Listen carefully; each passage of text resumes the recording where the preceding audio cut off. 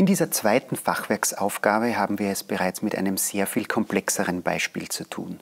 Einerseits liegt die Komplexität, wie wir sehen werden, in der Geometrie und andererseits ist dieses Problem leider auch nicht symmetrisch, sodass sehr, sehr viele Schnitte durchzuführen sind, um die geforderten Stabkräfte zu berechnen.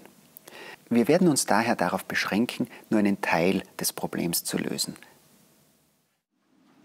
Meine Vorgehensweise in dem Fall ist so, dass ich mir zuerst einmal anschaue, was kann man mit dem Gesamtgleichgewicht anfangen.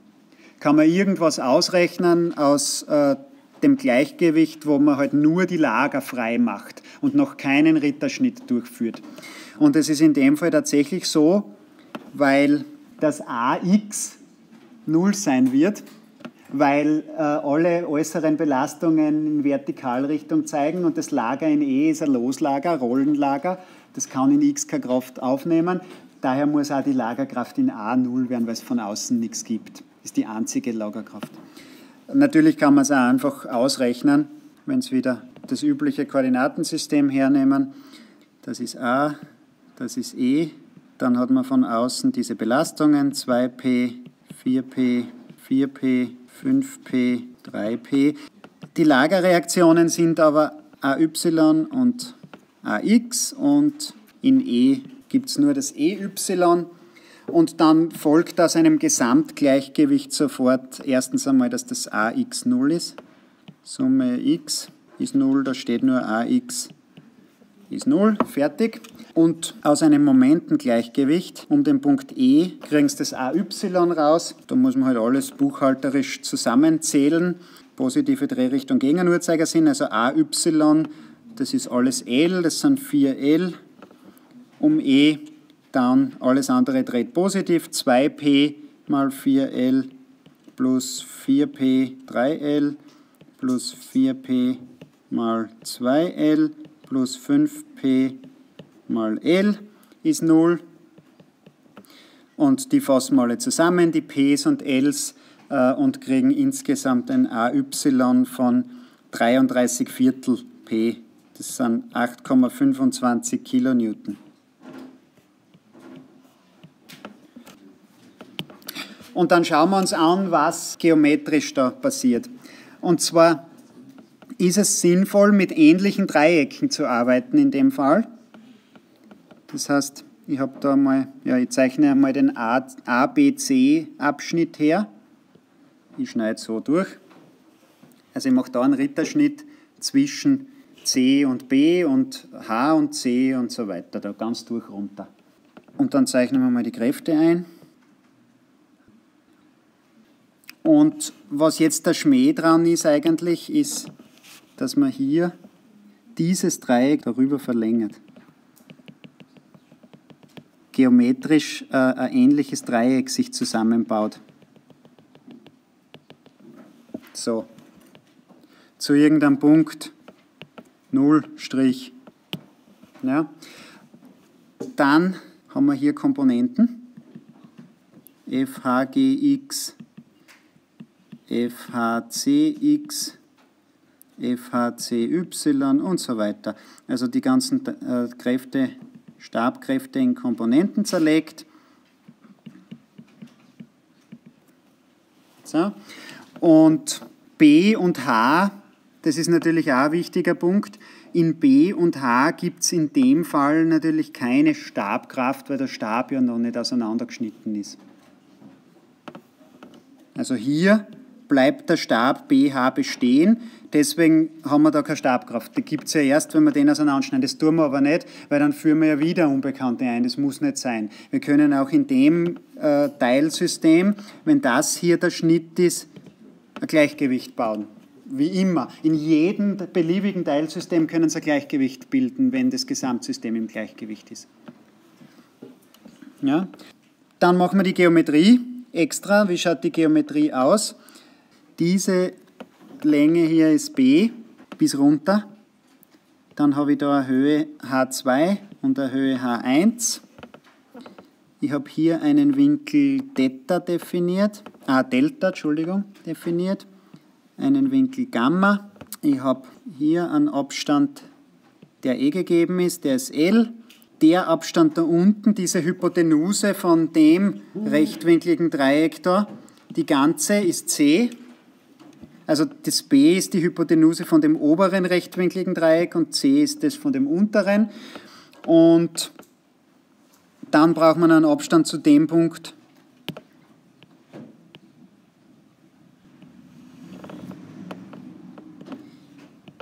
Null Strich daher, das ist x Strich und hierher ist x. So, äh, der Witz ist der, dass ich dann einfach eine Momentenbilanz um den Punkt 0' da oben mache. Jetzt schauen wir uns die Geometrie noch einmal im Detail an, mit den einzelnen Dreiecken. Wir haben einerseits das Dreieck mit B als Hypotenuse, das ist dieses hier da. Das hat B und L und H2. Das heißt, wir können uns mit dem Satz von Pythagoras einmal die Hypotenuse ausrechnen. Das ist h2 Quadrat plus L Wurzel draus. Dann haben wir hier Wurzel 34 Meter. Und das untere Dreieck, das hier, das hat wieder L als eine Kathete, H1 als zweite Kathete und C als Hypotenuse. Wieder Hypotenuse ist unbekannt, die rechnen wir uns aus. H1 Quadrat plus L Quadrat Wurzel draus ist Wurzel 29 Meter.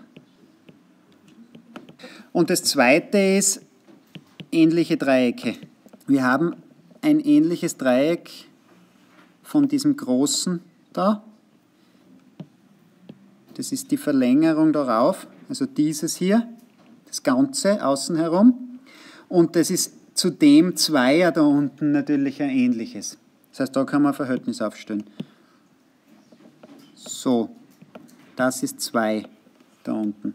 Das heißt, wir haben hier L, wir haben hier H1, äh, wir haben da oben H2 und da diese waagrechte Distanz ist x'.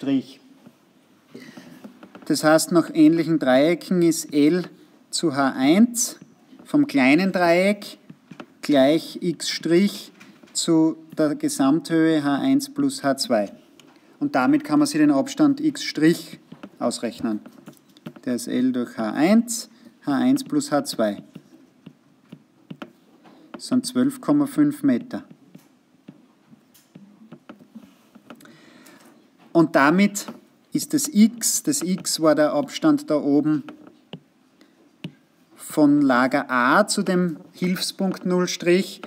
Das kann man natürlich dann auch bestimmen, wenn man das, L, ah, das x' kennt. Das ist x' minus 2L, der Restabstand. Das sind 2,5 Meter. Jetzt ist die Frage, warum haben wir eigentlich diese Hierarchie da überhaupt gerechnet? Was bringt uns das jetzt? Wir brauchen ja die Winkel da. Wir müssen die Winkel äh, für die Komponenten bestimmen von FHG und FHC, also Gamma und Delta. Und um die ausrechnen zu können, braucht man natürlich diese Dreiecke. Und für die Momentenbilanz braucht man den Abstand da, den wir noch extra bestimmt haben. Damit kann man dann die Kraftkomponenten sofort hinschreiben. FHGX ist also, wenn man oben schaut, FHGX ist FHG mal Cosinus Gamma. Äh, FHG ist ja das hier. Der eingeschlossene Winkel geht zu x, also ist das der Cosinus. Und Gamma aus dem Dreieck ausgerechnet, also der Cosinus von Gamma ist L durch C. Ankathete durch Hypotenuse. Damit wir, kann man es ausrechnen, ohne den Winkel direkt kennen zu müssen, weil wir ja die Längen jetzt eh kennen alle. Wenn Sie es einsetzen, kommt da was Schönes raus, nämlich 5 durch Wurzel 29 FHG. So. Gleiche für alle anderen. FHGY ist natürlich dann der Sinus von Gamma. Der Sinus muss die andere Kathete sein. Das war H1 also 2 durch Wurzel 29 FHG. Und für FHC genauso, x Sinus Delta. Sinus von Delta ist L durch B, das ist das obere Dreieck, wenn Sie sich erinnern. Und das ist 5 durch Wurzel 34 FHC. Und FHCY ist Cosinus Delta, das ist H2 durch B. So, äh, jetzt haben wir die ganzen Komponenten und jetzt muss man eine Momentenbilanz machen. Momentenbilanz um verschiedene Punkte sogar habe ich gemacht, um drei verschiedene Punkte. Es hindert sich ja niemand daran, mehrere Momentenbilanzen zu machen. Und das habe ich da so gemacht, nämlich einmal um den Punkt H. Schauen wir kurz, wo ist der Punkt H? Das ist genau der Punkt, wo die ganzen Kräfte angreifen. Das heißt, da habe ich im Wesentlichen äh, nur das AY und das 2P drinnen und was ich noch drinnen habe, ist dieses FBC da oben mit dem Normalabstand Höhe da, H2. Äh, daraus kann man sich dann nämlich sofort einmal dieses FBC bestimmen, ohne noch was anderes hinschreiben zu müssen. Das liefert nämlich minus AY mal L plus 2P mal L, die kennen wir alle, plus und die Unbekannte ist FBC, hat einen Normalabstand H2, ist gleich 0. Das ist meine Gleichung 1 und aus der kann man sofort dann das FBC bestimmen. Dann habe ich um den Punkt C eine Momentenbilanz gemacht. Das ist hier. Da kennen wir alle Abstände, die Höhe, die Länge und so weiter. Das ist minus AY mal 2L plus 2P mal 2L plus 4P mal L und dann diese FHG x-Richtung mal H2 plus FHG y-Richtung mal L ist gleich 0. So, schauen wir kurz, warum tritt eigentlich FHC nicht auf da oben? Sieht man sofort, weil FHC ja von H nach C geht. Und wenn Sie den gesamten Vektor anschauen, dann kann nichts anderes rauskommen, als dass Sie die Komponentenmomente um C wegheben müssen, weil der ja als Ganzes mit der Wirkungslinie durch C durchgeht. Also den kann man sofort vergessen, den braucht man gar nicht hinschreiben. FHC mal 0, weil es keinen Normalabstand haben. Deswegen steckt er da nicht drin. Deswegen ist C ein kluger Punkt für einen Moment, weil da hat man nur FHG als Unbekannte drinnen. Weil FBC geht auch durch, durch C. Und der nächste äh, und, und andere, dritte kluge Punkt ist eben dieses Null-Strich da, weil äh, da bleibt sozusagen das FBC draußen. Das ist nicht drinnen. Dann bleibt das FH, das sieht man da nicht. Aber das FHG geht durch Nullstrich durch.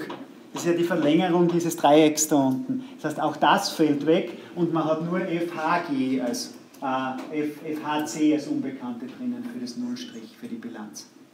Das ist die Idee hinter den Bilanzen. Ich mache drei Momentenbilanzen, wo immer nur ein Unbekannter drinnen steckt. Und deswegen auch dieser Punkt Null Strich da oben. Natürlich geht es auch anders, aber dann ist die Rechnung halt langwieriger. Also dann haben wir AY mal x, das ist der Abstand da oben, 2p mal x minus 4p mal x plus L und die Komponenten von FHC, x-Richtung hat den Normalabstand H2, y-Richtung hat den Normalabstand x plus L. Das ist wiederum 0. Und jetzt braucht man da eigentlich kaum Arbeit leisten, weil man nichts vom einen ins andere einsetzen muss, weil überall nur ein Unbekannter im Wesentlichen drinnen steht. Ja. Weil äh, schaut jetzt noch nicht ganz so aus, aber das FHCX und FHCY haben wir ja als Funktion von FHC ausgedrückt schon über die Winkelfunktionen. Deswegen nur eine Unbekannte. Also aus der Gleichung 1 folgt dann, das ist das einfachste, das FBC, das ist L durch H2 ähm, AY minus 2P. Das sind meine 10,42 Kilonewton. Das ist eine Druckkraft auf den Knoten B. Aus 2 folgt, ja, ich schreibe schreib gleich das Ergebnis her, FHG eingesetzt natürlich, C durch H1 plus H2 mal L mal 2AY mal L minus 8P mal L, das sind 9,15 Kilonewton. Das ist so, wie wir es eingezeichnet haben, eine Zugkraft auf den Knoten G Und aus der dritten folgt das FHC, b durch 2l plus x mal h2, e mal 6x plus 4l minus ay mal x. Das sind 2,24 Kilonewton. Und das ist auch eine Zugkraft auf H. Hg ist Zug und Hc ist Zug auf H jeweils.